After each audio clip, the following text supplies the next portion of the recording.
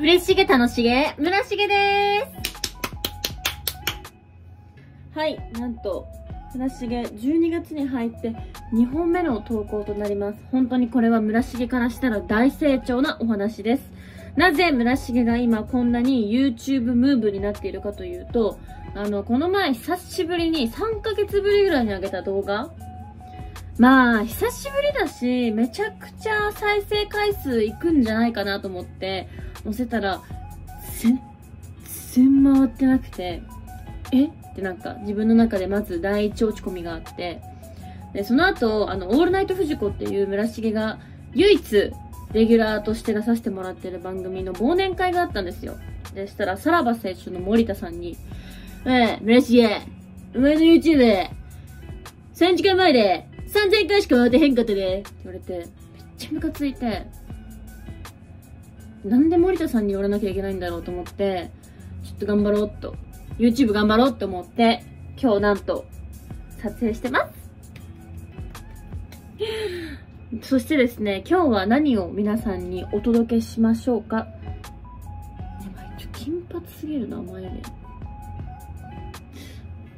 眉毛描いて取ればよかったかな。まあ、いっか。今日はですね、村重のスキンケアをえー、皆さんにお届けしたいなと思います。本当に村重は自慢なんですけど、肌を褒められることがもう死ぬほど多くて、どんな人に、どんなイケメン、どんな美女に会っても、肌綺麗すぎないってすごい言われるので、今日はその村重のお気持ち程度ですけど、皆さんに発信できたらなと思います。まずは今お風呂上がりです。ほてっちゃったりとかして、すごい可愛い状態で可愛い状態なんですけれども、ここに、ドゥドゥン。この CNP、おなじみの。これは、まあ日本でも買えますし、通販でも買えるんですけど、村重は韓国に行った時に爆買いするのが好きです。韓国に売ってる CNP を買うことに意味があると思ってます。これ、首のシワもね、気になってくるんで。窒息するとこだった。まあ、本当は24歳ぐらいまで村重あんまりスキンケアにこだわってなくて、全然スキンケアとかする人間じゃなかったんですけど、25を境目に結構毛穴がかっぴらくようになってきちゃって、朝起きて、ちょっと待って、ネイル剥げてる。最悪。あの、毛穴がかっぴらくようになっちゃって、本当に朝起きたら毛穴が開いてるんです。そんなこと一度もなかったからショック受けちゃって、最近はすごく気をつけてます。はい、そしてこれ、韓国で買いました。アビ、アビル？アビド？アビル？アビド？さあ、本当の正体は知りませんけど、このパックを使ってます。蜂蜜かな？これ本当にね、汁がひっとひとなんです。もうびっちょびちょ。ほら。びっちょびちょ。これをつけます。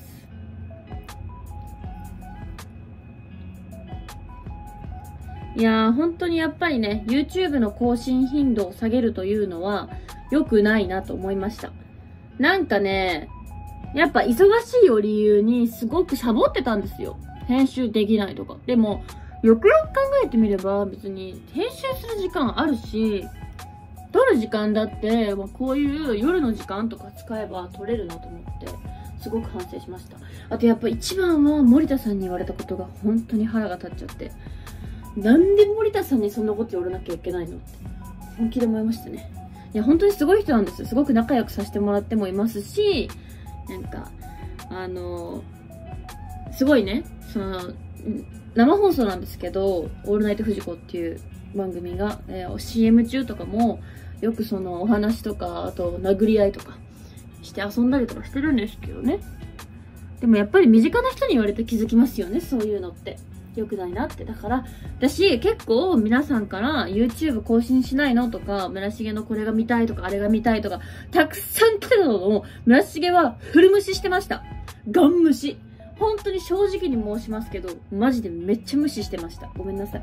なので、えー、まあもう2023年も終わりますから、あ ?2024 年かな ?2024 年ももうすぐ終わりますので、えー、やっぱ少しでも忘れられないようにね、いろんな SNS でしっかりめに発信していこうと思います。ちなみに村重は本当にすごくせっかちなので、こういうパックの時間も割と待てないんですよ。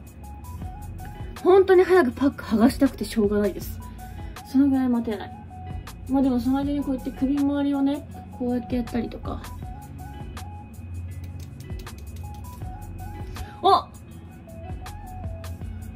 イケメンから LINE が来た予感がする。どうしよう。今日この後出かけないとかだったらどうしよう。行く。全然行っちゃう。でも明日早いのでパスするかも。はいはい。まあそんな感じで。こうやって。まあこんなもんでしょ。2分ぐらいしましたのでね。で、こうやって剥がしまーす。うんむき卵ほら。本当に綺麗じゃない村重の肌って。ちなみに、美容医療系はしてないです。ダー、ダーマペンとか、なんか、ポテンツァとか？ポテンツァ？え、ポテンツァってなんだっけ？めっちゃ卑猥な言葉かも。え、ポテンツァって卑猥な言葉？じゃないかなわかんない。卑猥な言葉だったらすいません、ポテンツァ。とか言って全然卑猥な言葉じゃなくて普通の美容医療だったらもう村重終わり。普通に終わり。芸能人やめよう。はい。そしてですね、こうやって、ここら辺とかにいっぱいバーって、まあ、つけて、なじませまーす。ほらほら。いいだろ？続いて、この、パック終わりにする、&BVC セラム。これは、メイクの川北さんからいただきました。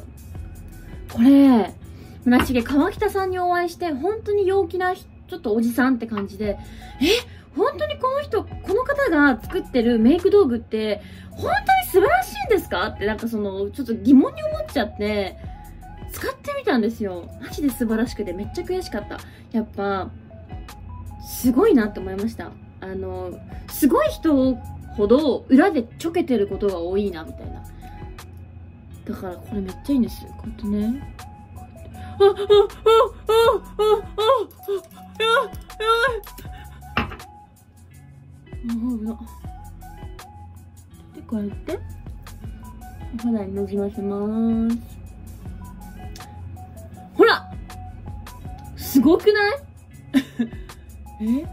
なんか一周回ってブスじゃない？こんなに肌綺麗なの。こ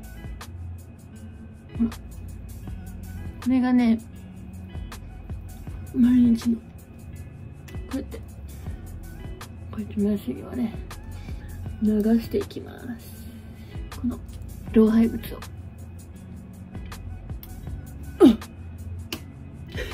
え？ー、なんか、村重の目の前で自撮りとかしたら漏れるんじゃんってぐらい。ほら、レフ板ぐらい光って、ほら。めっちゃ綺麗っしょ。ぴょんはい、こんな感じで村重の、えー、スキンケア、ご紹介いたしました。意外とね、あの、ズボラな一面もあるので、まあ、一面というより、ズボ、見てる通り、見ての通りズボラなので、あのーあんまり凝ったことはしてないんですけど、まあ、25を境目に最低限の美容を心がけるようになりました。また何か最新のことがあれば皆さんにお伝えしたいと思います。では、YouTube、楽しかったです。バイバーイ。